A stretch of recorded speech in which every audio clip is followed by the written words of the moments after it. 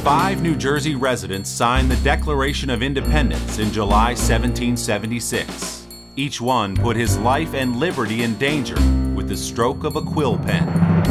Francis Hopkinson had been appointed to the Royal Council for New Jersey in 1774, but he resigned soon after, having become an ardent supporter of independence.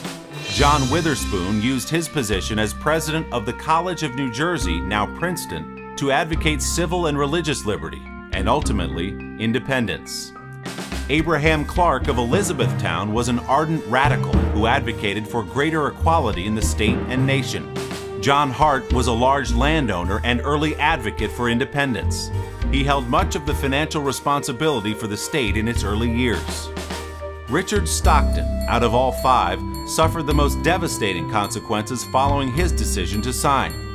He was captured in the Army's retreat across New Jersey in the fall of 1776, and his possessions and estate were seized by the British. Fighting for independence had real consequences for these and many other men and women throughout New Jersey.